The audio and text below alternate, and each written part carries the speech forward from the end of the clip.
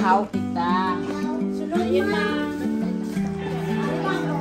Diyos nila, mami.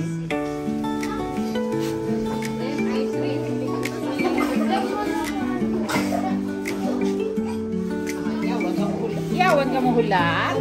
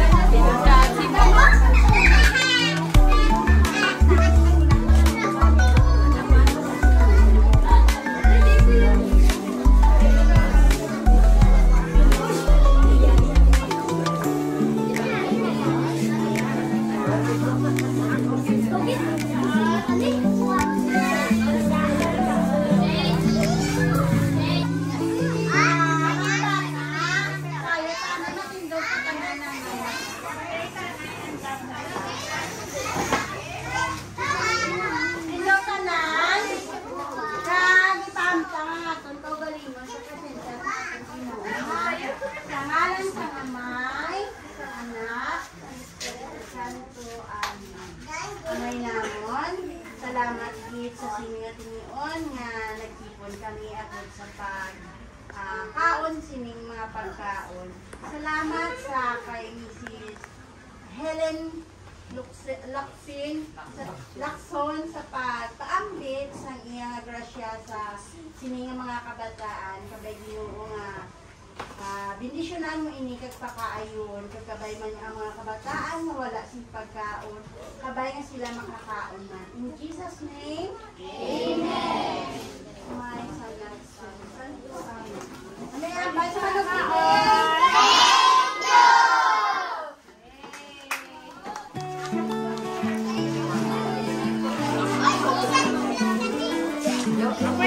Kaya kami dyan naman